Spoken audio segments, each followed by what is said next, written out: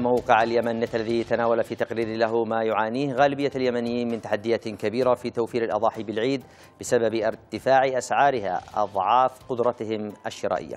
جراء تدهور وضعهم الاقتصادي وانهيار قيمة العملة المحلية أمام الدولار بسبب استمرار النزاع والأزمة الإنسانية في البلاد للعام التاسع على التوالي.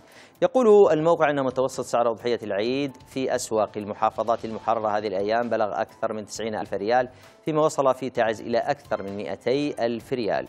يضيف الموقع أن شراء الأضاحي في صنعاء بات مقصورا على أثرياء الحرب الجدد من قادة جماعة الحوثي والموالين لها الذين تسببوا من خلال سياسات الإفقار وفرض الجبايات على التجار في رفع أسعار المواشي ومختلف السلع الغذائية.